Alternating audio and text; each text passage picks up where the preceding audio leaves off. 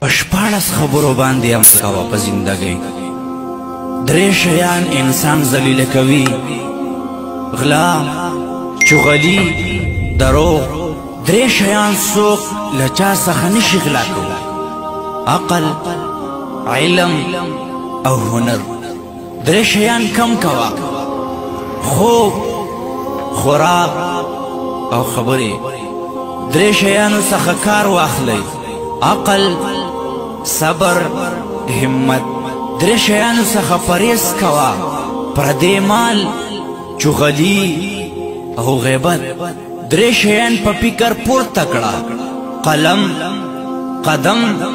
او قسم په درې شیانو ایمان لرا توحید قیامت رسالت درې شیان یاد ساته مرګ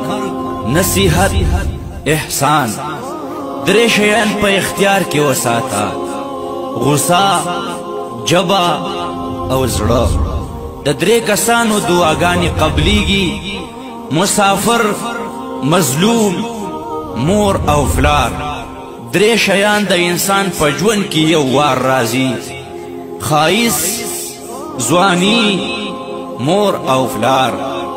په درې شیانو کې کوشش کوه لمونځ جهاد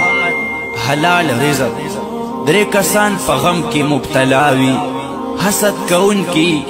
و هم ډرن پزړه زخمی د دریو کسانو احترام کوا والدین یعنی مور او پلار استاد او مشر